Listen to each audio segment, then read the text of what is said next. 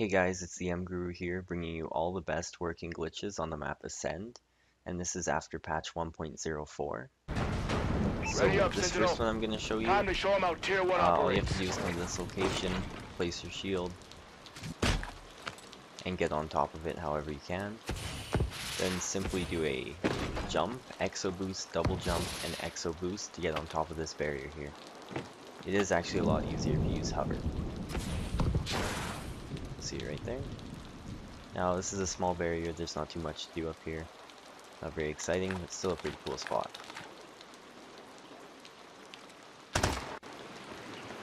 Alright, so this next one is actually a secret room glitch. This is one you guys probably didn't know about. So you're just gonna come over here, jump on this little light here. And see where I'm looking, you just have to jump, exo boost, double jump. And if you do it right, you should get into this little secret area. And don't move back after you get in there, otherwise you will fall out. So see right there, I'm on this tiny edge.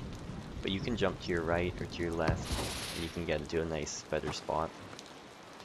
And I'll show you in a minute how to get to the other side. You're just gonna come up right here, and right in this part where you get stuck, move to the left a bit, and just jump. And you'll get right over that.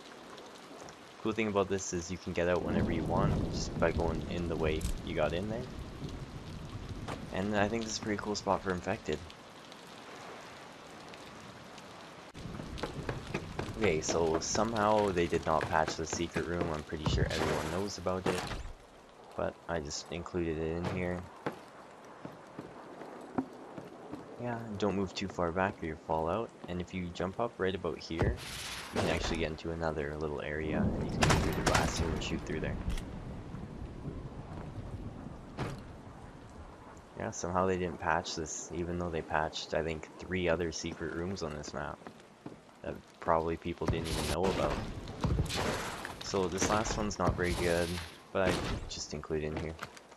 All you can't jump up onto this side, but if you jump up onto the other side, you'll actually land on a small barrier. You can walk all along this up to the doorway, and you can also do it on the other side. So I hope you guys enjoyed this video. Don't forget to leave a like if you did. Maybe even comment, tell me what you think.